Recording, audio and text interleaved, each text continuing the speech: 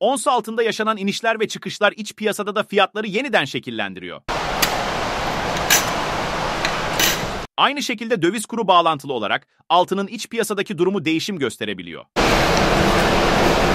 Altın fiyatları güne düşüşle başladı. Ons altın fiyatı 1998 dolara kadar gerilerken çeyrek altın bir önceki güne göre %0,72 oranında değer kaybederken gram altında düşüş ise 0,20 oldu. Alım ve satım işlemi yapacak yatırımcılar özellikle gram altın ve çeyrek altın fiyatlarına odaklandı. Bu hafta haftanın başlangıcı olarak geçtiğimiz haftaya göre biraz düşüşle başladı. Bu alım fırsatları bence iyi değerlendirmelidir. Çeyrek altın şu anda 3160 TL, yarım altın 6320 TL, tam altın 12640 TL'den, gram altın ise 1920 TL'den işlem görmektedir. Dolar kuru şu anda 29 bandını geçmiş, 29.055'ten işlem görmektedir. Euro ise geçtiğimiz haftaya göre bir 20 kuruşluk bir gerileme yaşadığından dolayı 31.250'den işlem görmektedir.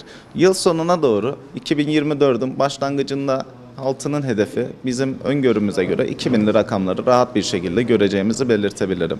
Zaten ons altından da destek alarak altın olmak istediği değerin daha fazla seviyesine yükselerek sürekli kendi rekorunu yeniden kıracağını düşünüyoruz. Piyasaları etkileyen en büyük etkenler geçtiğimiz zaman dilimine göre baktığımızda hem ülkece yaşadığımız savaş sorunlarından hem de ekonomi ve enflasyon anlamında yaşadığımız faiz indirimleri ve artırımları neticesinde ister istemez etkilen- etkilenmiştir. Dolar dediğimiz gibi 29 bandından işlem görmektedir. Euro ise 31.25'ten işlem görmektedir.